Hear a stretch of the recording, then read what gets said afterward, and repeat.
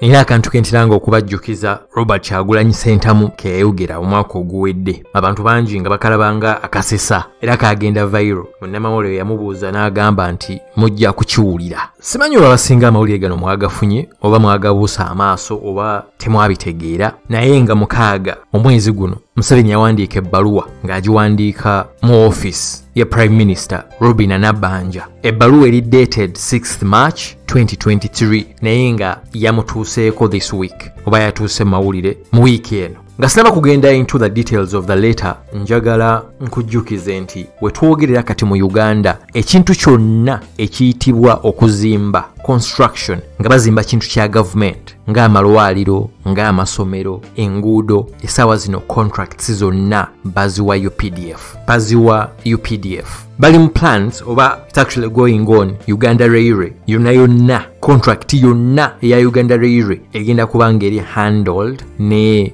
updf wetwogerera obuvuyo mubulabye obubadde bugenda maaso enamboole nga bagoba abantu kwabaasenga ku ttaka ly'enamboole ndowooza mulaba abadde bakola renovations abazimba ekisenge ekyo enamboole gabadde magye ga updf amasomero agasinga agazimbibwa ne constructions enguudo esinga zitwalibwa na updf mujjukira bulungi nnyo it was last year era najja nenkola audio. Museveni we yawa etteeka n'agamba contracts zonna batandike kuziwa updf wetwogerera era sinaba kuyitirawo mu bbaluwa gye nkugambye the reason lwaki nkugambye nti bajja kukiwulira wetwogera wonna ebintu ebikwatagana ne printing mu uganda nga biyingiramuko emirimu gya gavumenti tewakyali kitongole kyonna kikkirizibwa kukola mirimu egyo. Bino nno byenkugamba biriko etteeka nti omuntu yenna akwata omulimu ogwo n'aguwa kampani yonna eri private. Mwabagendanga ne mufuna diiru za gavumenti omuntu n'agezaakuwa omulimu ogwo. Kibonerezo kugubwa ku mulimu oba bayinza n'okusiba so nga nkugamba ebintu byonna ebikwatagana ne printing mu uganda nga mirimu gya gavumenti essaawa zino girina kukolebwa na uganda printing and publishing corporation. Oba twandiise uppc ekitongole ekirala new vision. Ebintu ebikwatagana ne printing. Byebyo ebitongole byokka mu uganda ebirina okukola emirimu egyo egiba nga gya gavumenti waba nga waliwo gavumenti entity yonna mu uganda. Oba nga waliwo gavumenti entity yonna nga eyagala ekiyitibwa furniture tokyasobola kukola ddiiru yonna ng'oli private n'ofuna omulimu ogwo. Nkiddamu wabawo ddiiru yonna ng'ekwatagana na ku bya furniture busimanyi bakoze eddwaliro beetaagamu furniture bakoze essomero beetaaga furniture desiki tables ez'aba student ne kampanizi zonna zonna offisi zonna zonna eza gavumenti ebintu ebikwatagana ne furniture ekitongole kiri kimu ekirina okusupplyinga furniture mu uganda. That is uganda prison services. Uganda prisons be bokka abalina contract oba balina tenda eyo esupplyinga furniture ebitongole bya gavumenti byonna. Naye mujjukire ebintu ebimu ebyafuula museveni okuba popular maybe in the early 90s was the liberalization. The free market. Olaba nga kampani za gavumenti weeziri private zibeewo free market tukompitinge byatandika ngaebisaaga byasookera mu military. Kati nkugambye kizibu nnyo kati n'okufuna contract yonna nga yakuzimba n'egenda outside zonna baziwa military. One of the biggest contracts embadde nkugambye eziriwo kati the uganda railway yonna yonna egenda kuba emaaningibwa na updf mwalabye namboole updf amasomero agasinga n'enguudo. Its going to be updf mbagambye ku bya printing mbagambye ku bya furniture. Kati odi eno ejja ku media. Media omuli ababadde basinga okutuvuma fe abagala enkyukakyuka. Media omuli abasajja abeefuula ba celebrities oba abafuuka ba celebrities ba presenter nga tomugamba ku kintu kya struggle nga tomugamba ku kintu kya nkyukakyuka. Abavubuka mubalaba ku tv ng'oyayogera ku byenkyukakyuka tebamukyaza na kumukyaza. Kubanga let us be honest programs ezisinga okulabibwa ku tvs n'okuwulirirwa ku radio stations it is comedy oba just show shows nga olaba nti wejanku nbs anikat kalakata bwe bityo bwe bityo. Naye abo tebasobola kwogera ku kikigenda maaso mu ggwanga ekituufu oba boogere ku nkyukakyuka wabula wabaawo ekintu kyonna ekivumirira ate ekyo baba bakyagala nnyo. For example omuntu yenna najja nga oba avuma bobi wine oba nga avuma omuntu yenna yona enkyukakyuka ezo interview bazaagala nnyo. But when you start asking genu, genuine questions what do they think about the country? What do they think about ebintu ebigenda maaso? Ebyo tebabagala kubyogerako. Naye ku kino ekyazze how are they going to keep their jobs emirimu gyabwe bagenda gikuuma batya? Ogenda kumbuuza kikyoyogerako mwalabye mbuga bamuyita mbuga sk mbuga mpuga mbuga anyway. Yagaddewo ye ka tv station bakagadde naye kanzire ku mulamwa. Wetwogerera museveni yawandiisa ebbaluwa instructions ng'awa order. N'agamba nti taddamu okulaba ekitongole kya gavumenti kyonna. I want you to listen carefully. Taddamu okulaba ekitongole kya gavumenti kyonna nga kitwala akalango ku tv yonna endala okugjako ubc museveni yawadde etteeka n'agamba nti taddamu okulaba ekitongole kya gavumenti kyonna kyonna nga kitwala akalango ku tv station yonna endala. Obulango obwo bwonna babutwale ku ubc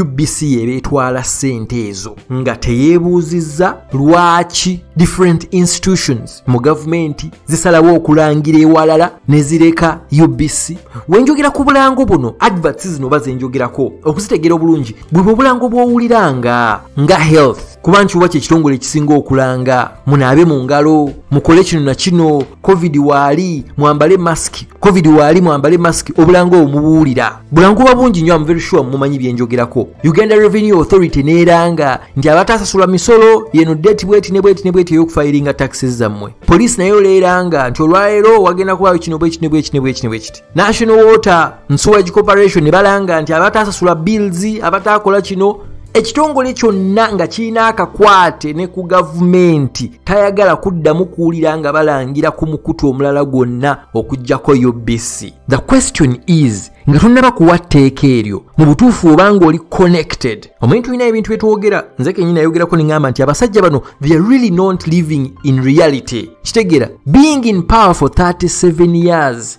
you disconnect. Nga tokyamanyi kikigenda mu maaso mu ggwanga. You write down this kind of instructions naye nga teweebuuzizza. Kuba mu uganda bantu bameka abalaba ubc let us go with social media. Museveni wabanga yaliko oba a very very important ceremony ubc ebeerako n'omuntu omu alaba ku facebook abeerako n'abantu babiri abalaba ku youtube abeerako abantu basatu bana bataano abalaba. There is a reason why there is a reason why. Let us be honest bannayuganda. When was the last time you tuned in on ubc kino kibi oba kirungi? Si kibi. Okubeera nga tulina tv ng'eggwanga ebeere ng'erabwa most countries do have that. But have you asked the questions? Lwaki abantu tebalaba ubc why all the efforts ze batadde mu ubc eveeyo bahayalinze ono bahayalinze ono lwaki era emala neegwa kati njagala owulire kano.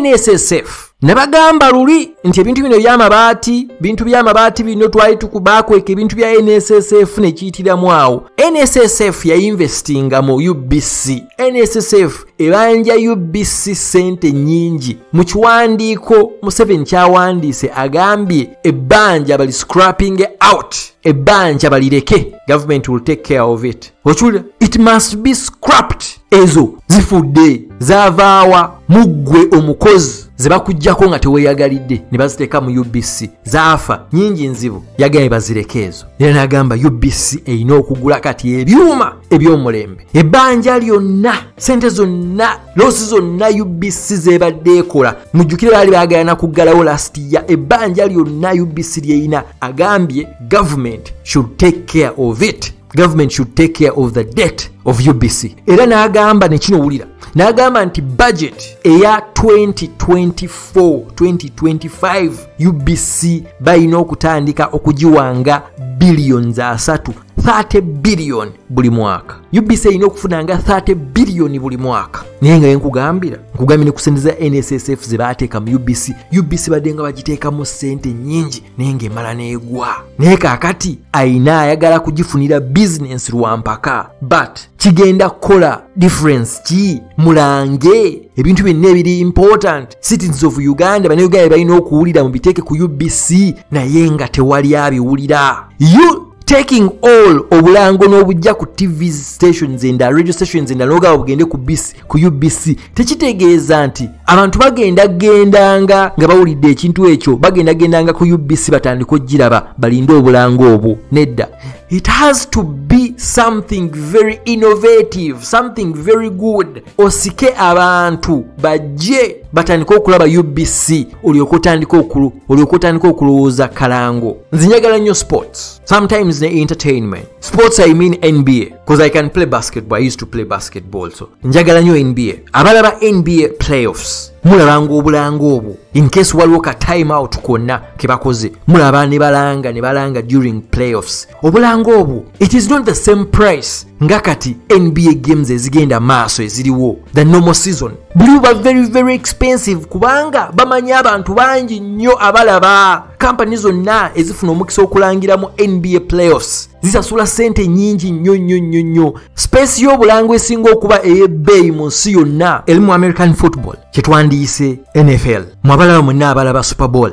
Just in the break nga olaba ku luno eyakoncludinze rihanna yeyaperforminze ne just in the break kampani zonna zolaba ezirangira mu that kind of interval basasula millions and millions of dollars. Naye ngaobulango bwaba seconds kitegeeza ki? Because people are there bamanyi millions and millions of people are watching so it's not about kuddira bulango bwonna n'obujja ku tv stations endala zonna mu uganda n'ozitwala ku ubc first make sure ubc eyina abagiraba. Otherwise ugandans are going to miss out on very important government communication mu uganda. Nkiddamu ugandans are going to miss out on very important communications mu uganda. Batandike nobawa fine? Because balangirako deadlines kyo nga ekigamba deadline yakino ekintu bweti. Bameka bagenda obiwuliranga. Bameka bawulira ubc tewali. Bagenda kulangirangayo abantu bamisingenga deadlines kubanga balangirayo naye tewali abiwulira. You first have to find a reason why abantu tebalaba ubc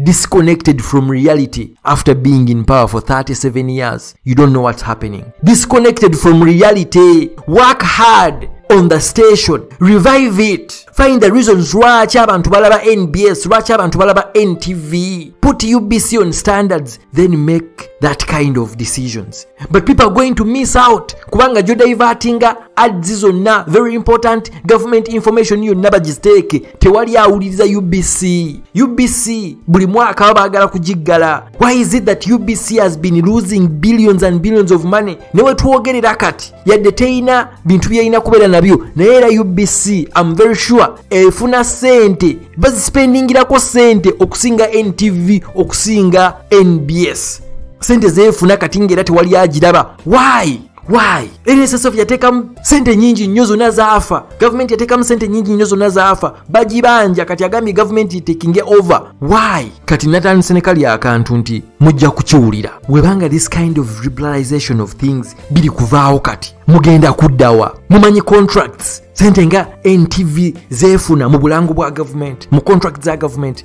nbs sente zeefuna mu bulango bwa gavumenti its a lot of money. Are you going to be able to survive? Nga temulina mirimu gya gavumenti nga temulangirako gavumenti are you going to be able to survive nalabye bapresident already abalabira ewala abaagala okwogera ku bintu bino abatatya ngaolredi batandise dda okukaaba nti ffe tugenda kuddawa tugenda kukola wa? If you believe in liberalization of things gwe kennyini wasalawo nti its a free market. Oba government entities private wagamba its a free market. Make the government entities competitive enough so that people can go there so that people can start watching them so that it has a place in the market freely. That is the free market. Do whatever you have to do look for the market. Orders. Military orders cannot work disconnected from reality after 37 years in power. Okusindika obulango ku ubc bwonna bwonna obwa gavumenti tekigenda kutwala bantu ku tv eyo. Kubanga ffe ngaabalabanga tv abawuliriza radio stations abawuliriza radio ekintu ekisinga obut- obutayagalira ddala mu bulamu bwe bulango.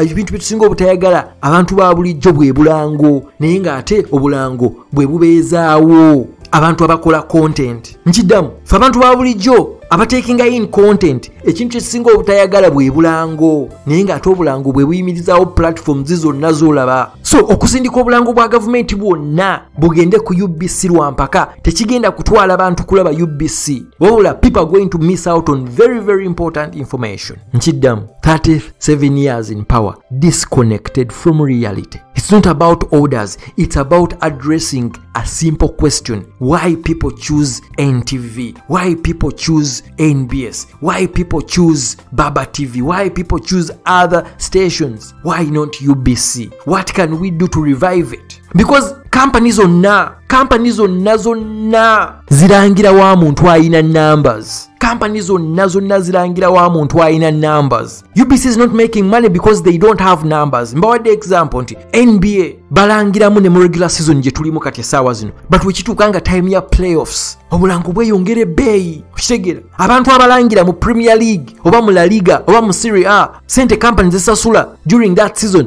si ze sente zezisasula nga zirangira mu world cup nga bamanyi nti ensi yonna eraba. Oba nga obadde olaba champions league these normal matches ezigenda maaso basasula sente entono okusinga ku bulango bwe basasula ku champions league final. Kubamanyi ensi yonna eraba people go to nba people go to ntv and other tv stations because they know they have numbers. They don't come on ubc because they know no numbers. The question is how do we revive? How do we revive? Okusindika obulango ku tv ya gavumenti tekigiwa bantu kugiraba waliwo comrade agamba nti kawo mentality mubutuufu badde olusi tetwagala nnyo okubeera aggressive naye mulimu ekikuyitirirako. Bagala bange njagadde bawa ka update ako mbaagala nnyo. Peace